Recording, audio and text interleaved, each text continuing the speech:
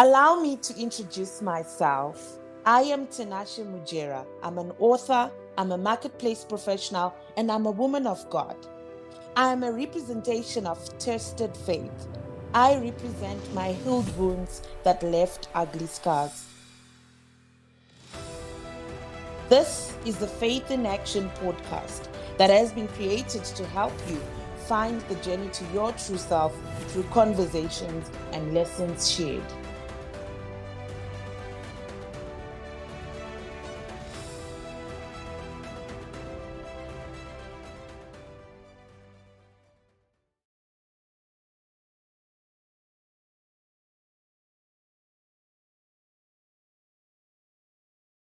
Good day, everybody, and welcome to the Faith in Action podcast with me, your host, Tinashe Mujera. I am a woman of faith and I am on a journey to empower women through faith. I'm really excited today because I'm honored to have a beautiful guest who I esteem very much and I'm privileged to call sister. Her name is Monalisa and uh, she's in the house today. Before I introduce her, let me welcome her. Hi, Mona. Hi, Tina. How are you? I'm good, sis. Welcome to the Faith in Action post podcast. Thank you so much. Thank you for having me. It's such an honor to be here today. Awesome. I'm excited. Yay! you see, you always know how to give me that boost and motivation. Yeah. No, really honored to have you on the show today, sis. And, um, you know, um, I mean, we've had so many conversations. Um, and I don't want to uh, introduce you myself. I want you to tell the people who you are, what you do, what you represent before we even get into what we want to talk about today. Okay, cool. So I'm a, I'm a television producer. Been in the industry for the past, I would say, almost yeah, two decades now. Wow. Started off um, doing short films and feature films. Um, originally from Zimbabwe. Oh, yeah. proudly Zimbabwean, and relocated to SA. In getting to South Africa, I started working on reality television. And I would say uh, God made it possible for me to work Mm. on big shows such as SA's Got Talent, which I produced uh, for a couple of seasons. Shows like um, The Voice South Africa, Hey. The Voice Nigeria, which I was line producing on. And then started getting into um, unscripted reality. So doing shows like The Real Housewives of Durban. Wow. Season one, I produced that specific one. Yes, go. Um, it was on Showmax, did very well, trended. Hmm. Um, I, it is showing at the moment on Bravo TV Wow. in the US, wow. which is exciting, as well as it's streaming on Peacock, which is also on U- in, in the US. I have got a show on Netflix Hmm. called The Cook Along. So do watch. It's it's amazing. Um, and I've got about two reality shows Wow. that are on Netflix that are coming out later in the year. Wow. wow. So that's quite exciting. I'm a CEO of a creative agents. Mm. Uh, we do music, uh, manage musicians as well as celebrities, um, as well as actors as well. We also do film and television. Mm. And we are now also in doing internal communications, especially for corporates. Wow. So those, yeah, those are the two two big things that I do. I'm into property Guys. as well. I sell houses in North Cyprus, mm. Spain, as well as in Dubai. Listen. And I'm also a life coach, teaching people Yes. how to, you know, create uh, vision boards. Love it. I'm big on that. It's an essential tool that I think everyone should mm. should have. Totally. And lastly, I'm a child of God. Mm. Yeah, Listen. that's me. Listen. Black woman doing it all. I love it. I love to see it. I love it when African women stand up and take up space. And that is exactly what you're doing, Mona. I'm really inspired by your life, your journey. I mean, what you do, who you are, what you represent. That's amazing. I mean, before we even get into the show, for, for those that are not into arts, into music, you know where to go to. We'll share her details right after the show so that you guys can get in touch with her directly. So, today we are going to be talking about all women meet in media. Um, and that is why we have Mona on the show. You've heard it for yourself. She is a producer. She's done work on great, uh, uh, um, you know, TV shows um, or with great TV shows. I mean, Netflix is not a small thing to talk about. The Real Wives of uh, Housewives of Durban, you said. I mean, that's a lot. Like I can't even finish the list. It's a whole lot. She's done a lot. So I just want her to really come through and I wanted her to come through and share with us her life journey and, and how she manages all of that. Because I mean, it's always easy to say, you know, people have done this and have done that. But there's someone out there who really wants to also walk the same journey, but they're not sure how to go about it. Or someone who's rather in, in, in the journey already, but maybe about to give up or not sure how to navigate through certain things. So it's amazing that we have you today, Mona, because I think you're going to really share some great testimonies. Um, and motivation in terms of how you've really done it to really share and, and motivate someone out there. So I am going to start with a very simple question, which is tell us about your journey and media. I mean, media is for men. What are you doing in that space? How are you producing as a black woman? Come on. Yeah. So I think with me, I was called into the industry. Let me put it as that. Um, a lot of people are not necessarily apostles, ministers, or prophets. They you are called to a specific industry, and that's how it started off with me at a very young age. Wow. I love the arts. Wow. I was one of those kids you'd find in front of um, crowds. Maybe it's a, a school play, for instance. It's prize giving. I'd be that girl, be getting prizes for drama. Wow. Because I loved arts and it was greatly influenced by my parents. Uh, mind you, they're both in the army. One a captain, and my mom is a retired major. Oh, wow. So that was quite, yeah, awkward when you think of it. But they love the arts. Um, I'd go to concerts with my dad as early as five years. Um, he, I would say, he greatly influenced my journey. So I knew that I wanted to be in the arts uh, space from as early as primary school, going on to high school. I remember even for my A levels, uh, my mm. combination was arts. Mm. And after getting my results, my mom was just like, "You cannot be doing arts." Mm. Like people who do, do arts, you know, they end up having you know troubles, financial troubles, and it's not a way of you to to earn a living. But I was determined to to walk this journey. And I remember after school, high school, she gave she said to me, she gave me an ultimatum. Let me put it like that. That you will take a gap year, mm. prove to me mm. that you can do something with just the talent that you have. And I took it up. I mean, by 19, I'd moved out of the house oh, Wow. landed my first internship job, let me put it like that, at an at the National Arts Council of Zimbabwe, Sure. working there as a festival coordinator. Oh. Then moved on to Chipawo, where I learned again theater and a bit of um, media. Nice. Uh, then I did apply for a place at school, which was at the University of Pretoria. Got to do um, my BA drama. And from there, got my first gig from Tsitsi Dangarembga, Wow. who had seen a theater piece that I directed. And she was like, The way you did this, um, Wow. would you want to work on TV because you thought about how people are entering on stage and leaving the stage, which cameras to look at. And that's how my journey started. Yeah.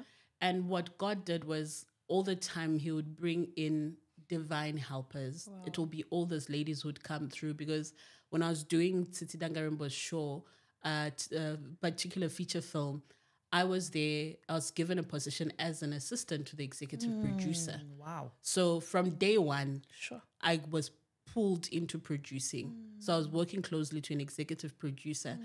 And those that understand the mm. film or television, it's never easy. You need to start off as a production runner mm. where you're making coffee for for the executive producers, you're making copies, you're doing anything and everything. But I was privileged enough to start from there. Uh, whilst on that set, I then met Rumbi Katedza. Uh, she was then the director for the Zimbabwe Film Festival Trust. And she was just like, okay, we've got the festival. We have a unit called the Short Film Project. Come and learn some more about film, and maybe you can start off as being one of our production coordinators. And that's how I started working with Rumbi Katedza and Nakai Matema. From there, I started working with um, Dorothy Mick uh, moved on to a company called Afrovision Entertainment and started working on feature films and documentaries with her. So when I say it's a calling, God was just putting till this very day, mm. people are put into my life, are brought into my life, mm. and they just make it easy. But obviously, having those that uh, you know those divine connections, You still need to be a person who is focused. Mm. You still need to be hardworking. You still need to, you know, persevere. Just like I said earlier, that it is a calling. And when it's a calling, not all seasons are going to be great. Oh, you're still going to have your winter, mm. you're still going to have your autumn, your mm. spring, and your summer. Wow. And some days it's going to be so difficult, and you're just like, I can't do this. That's right. But what needs to keep, you know, you going is mm. just that dream to say, I want to see this happening. And if you keep at it, surely you will succeed. Wow. Mona, you said a handful. I mean, I'm getting goosebumps right now. Amazing, amazing. I absolutely love what you say about, you know, you were called into the industry. That is so profound. I mean, I believe there are people out there that talk about, you know, or think that they're called into something, but not sure. The marketplace is a calling. That's basically what you've just said here. Mm. How does one identify their calling or know that they've been called into this place? What happened to you? You know, I know you said growing up you just loved it, but what happened? How were you sure? What was the that that melting point where you knew this is it and nothing else? Because the way you say it's a calling, you are so sure of it, you know. And I and I often find people are not so sure of mm. the calling that they carry. So tell us about that. So for me, I think it took a couple of years of trial and error. Let me mm. put it like that. Mm. And you get to a point where you reach rock bottom. Mm. You start questioning even the career choice. You're like, am I really good at this? Yeah. Or, you know, is this for me? And I think at that point in time, it was actually a conversation I'd had with God. And and I'd say to him, like, God, why is it that for me, I have to work 10 times harder than the next person. Sure. Why is it nothing comes to me on a silver platter? Mm. I've tried, I've tried business. I mm. promise I'd opened, there's a time when I opened a boutique. I mm. even had a children's oh, shop. Wow. Um, I tried different hustles. Wow. But every time it brought back, it brought me back to TV Wow.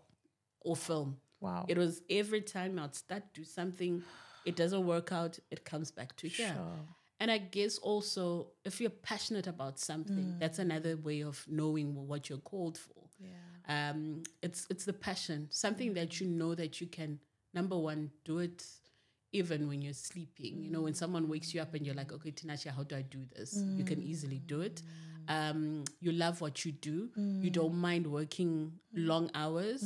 Yeah, everyone sees the glam regarding TV, but the hours that go into that, it's hectic. It's a six day week that you work.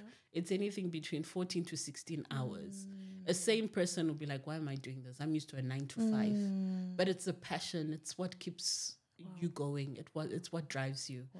And for me, I mean, it's the different personalities that you get to meet and being able just to impact in their lives.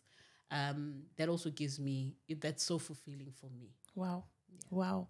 Mona, that is so profound. And thank you for sharing that. And I believe that, you know, the listeners and people that are watching, you've heard it for yourself how to identify your core, especially when it's not to do with the fivefold ministry, you know, which people often regard as the only core, but actually the marketplace is a core um, itself. So thank you for, for sharing that, Mona. That is um, faith in action, really. Uh, uh, uh, uh, yeah, in reality, and you living it. I'm going to ask you a few questions that I have here, you know, just to understand, you know, your journey in media. So tell us about your faith and how it um, has influenced your perspective on representation and diversity in the media. And how do you incorporate those um, sort of values, you know, into your work as a producer? So for me, um, with everyone that I work with, be it cast or crew, there's uh, there are certain statements that I always say to them. You know, we work in a high pressurized environment, Mm. and you're bound to snap at any given time. But I thank God for the patience that I have. That's one thing that I'm always told about. Yeah. You're very patient. yeah. You're very calm. Sure. And that does not come naturally. It's something that you you're God given. Hmm. And you you're supposed to be that person. Hmm. So I always say that whenever there's a situation, hmm. it's about finding the way forward and not blaming each other, but also having conversations because when you have a conversation, then you're able to find a way. Um, I also I'm al- also about love. You know, I might not be able to stand at a pulpit and spread the word, but for me, love is universal. Love is the biggest thing, regardless of you know whatever someone believes in. Mm. Just being there for mm. everyone mm. outside of the work that you need to do. Just for them to know that you know if I'm going through whatever I'm going through, Monalisa is there. She mm. will listen. She will hear me out, and she will mm. be understanding. Mm. So that's how I get to minister Wow. and it's it's so you know when you see people's lives being transformed when you know that people can call you at any given time mm. and just be there for them mm. it's it's so fulfilling Wow, that is actually living the scripture, Mona. You speak about patience, you speak about love. Those are the fruits of the Holy Spirit, and we're taught to live like that. In as much as you, you know, it's easy for someone to say, I have love, but not in action. But you show it in action. I mean, I've received it from you, and I've seen the patience and the calmness you're talking about. So it is a true and real thing. So there we go patience, calmness, love. Lead with those, and everything else will come into um, you know into its rightful place or into alignment rather and you speak about conversations i love that instead of us quarreling why don't we converse and just talk about it god help me. So Mona, i want to ask about some of the challenges and obstacles you faced as a black female in the media industry and how you've managed to overcome them. Um as you know and i mean it's it's it's it's public knowledge to everyone that our industry has a few females. Yeah. so you'll arrive on a set and maybe 10% or 90% are male and only 10% are female. Yeah. So for me, the challenge is just I, wouldn't- I I don't take it as a challenge, but I look at it and try and think of how we can bring in more females into our space. So I'm big on mentorship. Um, whenever I'm working on any project, we try and bring in interns and ensure that we also have females mm. represented there. They need to realize that there is space for them mm. as well in the industry. Mm. Um, there's also the issue of you know our jobs and projects are seasonal, so being able to stay, I'll say, sane all the time is not easy Yeah. because you will have work for six months and the next three months you don't have anything to do. So it's also, you know, having that inner peace. Uh, mental health is a big thing right now, especially even for, I'd say even for, it's for everyone. Yeah. But you can imagine how many creatives were affected during COVID, where in SA alone, I think we're one of the last industries to open up again. And it took years before people could get work again. So those are the kind of challenges that you come across where it's not stable job. I won't say stable, but not in terms of security. It's you you don't know what will your life would look like in the next coming months. And I guess that's why I set up the company in terms of mm. Monzyice Creations to ensure that when I'm not working on a long form project, mm. I am still able to create content. Mm. So it's finding, you know, the balance to say, okay, this each year I take two big projects or one big project that I work on, but the rest of the year I'm creating my own content. And what makes life easier these days is, you know, of cell phones, you can use cell phones to create content. Mm. Um, you can there are ways and easier ways of making of mm. creating content. Mm. So it's always thinking outside the box. So yes we're presented with challenges but it's always finding a solution around it. Wow, Mona. Sure. Yo, so so full of wisdom. And and I think I wanna reiterate on on the point of vision boarding and how you are a mentor. And I mean you've done vision boarding even with a group of ladies that I also put together recently. A wonderful, absolutely amazing job you did. And we're seeing some of those results coming to pass already. Do you want to just dial into what you do in terms of vision boarding and what vision boarding really is and how it helps people accelerate in terms of you know what they're called for but also what their dreams are and what they want out of life Great. So what happens is every year, you know, you and I put together resolutions. And what happens throughout the year, we don't look back to mm. see, you know, after three months or after six months, how was, you know, my list going through, going on and making a chess checklist. Yeah. So I prefer using um, vision boards because yes, I'm a visual person, but you're able to visualize and see this on a daily basis. it's kind of like a, a reminder and reaffirming what it is that you want to do. So it's simply, I'd say vision boards. It's just taking your goals that you've listed down, translating them into pictures. So if it's a house that you want to have this year, look for an image that represents that house and start putting it on a on a vision board. I love saying that, you know, if you can if you can see it, you can hold it. That's it. So that's what a vision board is. Mm. So the mm. moment you see it, mm. you're like, okay, this I can definitely hold. drive So it doesn't replace the planning aspect because a lot of people think that okay, I've put everything on a board, it's just gonna help. It's gonna happen. Yeah. But remember, we've got our three P's where we're saying you you're, you are you are planning. That's what you've done in terms of the vision board. You now need to prepare. Yeah. How are you going to execute that? Yeah. And then finally produce, which are the results at the end of the day. Because people just think it will manifest and that's it. A typical example, uh, I'm guilty of it. Every year I will have a fitness goal. and I will say for the next, uh, I would say January, February, and March and April, I am very faithful. I will go to the gym, I will jog, and I'll eat healthily. But come May, June, winter starts setting in. Hmm. You won't find me there. I love being a warm body. And the cycle continues. So that's the thing. If you've put down something, you need to be you need to stay consistent, see it through. Mm. And uh, vision boards do not replace, you know, the hard work at the end of the day. Mm. It's an essential tool. Mm. Think of it as a tool that will help you to succeed. It's like when you go to a bank, you have an awesome project, but at the end of the day, the bank needs to see a business plan. That's it. What is the project about? How are we going to get our, our money back? What is the plan? So that's what it is at the end of the day.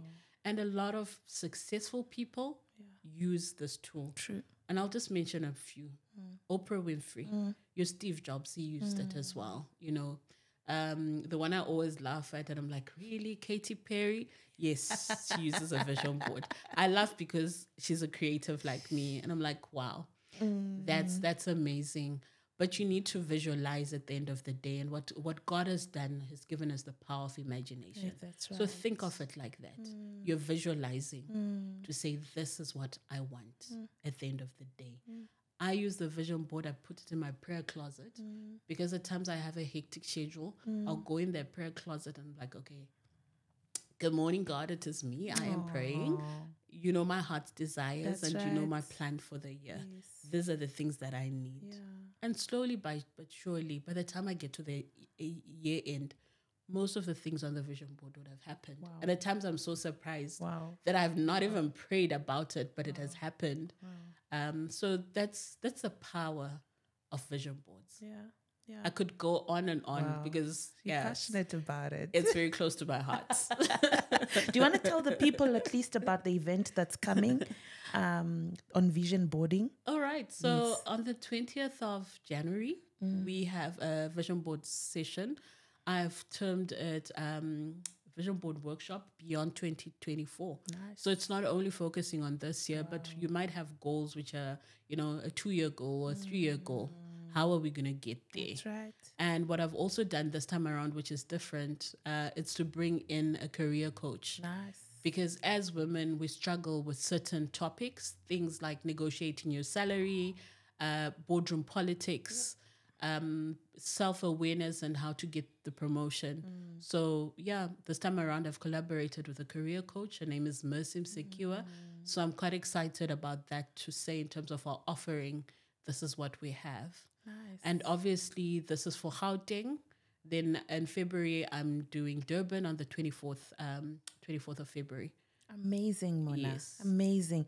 you know what? This is so exciting to hear. You spoke about if you can see it, you can have it. And scripture tells us, she says, it says, write the vision down. That's not by coincidence. Surely there's a reason why God had to put in that. And now it takes me to the next question, Mona. Time, time, time. and I want to get all of this out of you. You know, um, can you share any advice, words of encouragement, you know, for other Black females aspiring to pursue a career in media, while also staying true to their faith and their identity? Wow, where to start?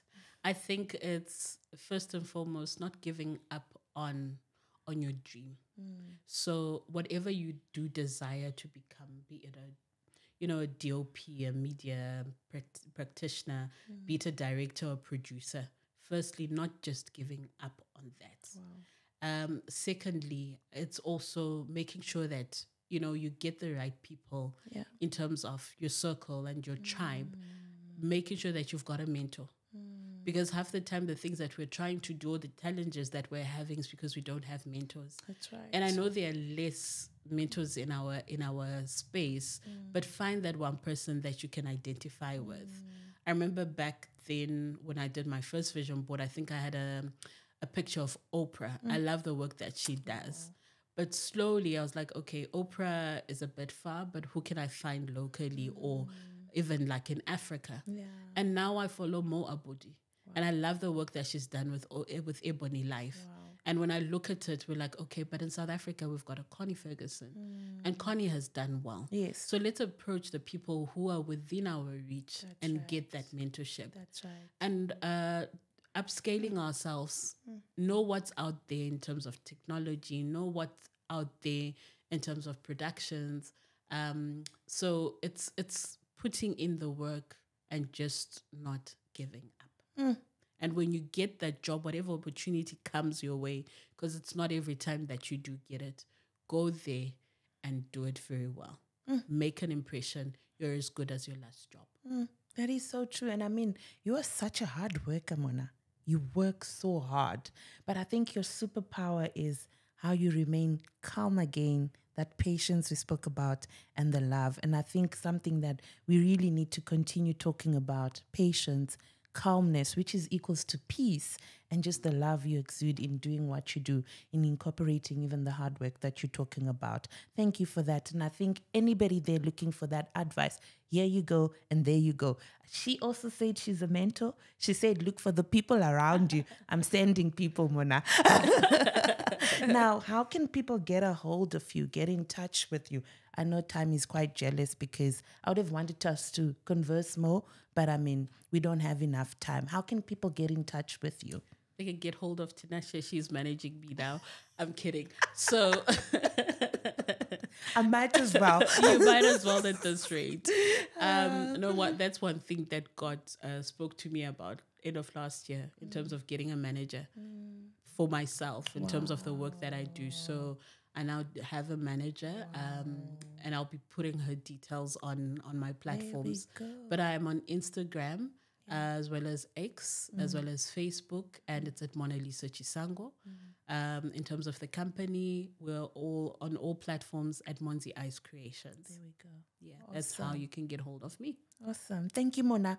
Monalisa Chisango on all platforms. I'll also share the details, you know, um, on this podcast show so that you guys can be able to get in touch with her if this show has really touched you, if you want to get more out of what she does, but also if you are passionate about the media industry as a female, particularly, you are welcome to get a hold of Mona and she can advise in the best way that she can. Um, everybody is, um, I think we're done, yeah? We are Okay, he's done gonna have for to now. cut, yeah. But thank you so much for having me.